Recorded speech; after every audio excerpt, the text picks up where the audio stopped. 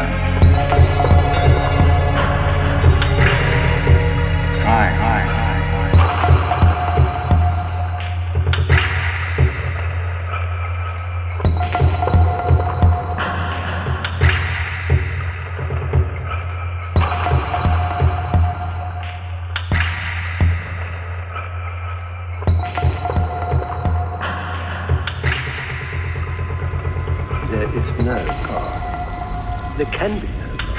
It's ridiculous to think in terms of a superior being and inferior being, maybe, because we, we who don't exist, we arrange our lives with more order and harmony than God ever arranged the earth. Measure.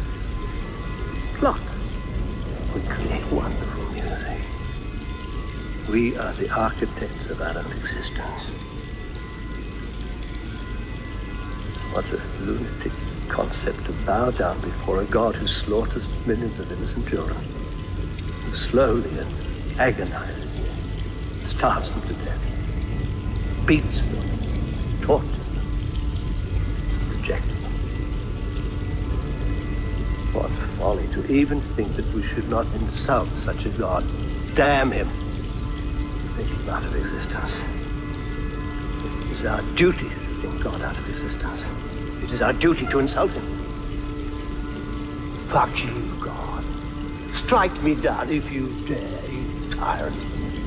You non-existent fraud. It is the duty of all human beings to think God out of existence. Then we have a future. Because then, and only then, we take full responsibility for who we are.